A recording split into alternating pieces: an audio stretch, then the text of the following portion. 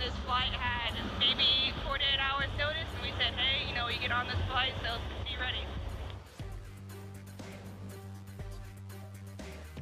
So what we're trying to get um, do with this exercise is kind of work off what LRS is trying to do with the multi-capable airmen. So what we're trying to do and try to get the whole base involved with is, hey, we don't want just POL troops being able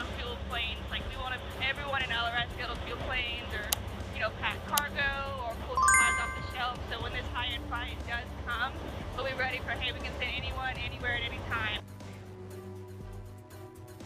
what deployments in the next fight is going to look like. It's not going to be, hey, we need one or two people to deploy to this location.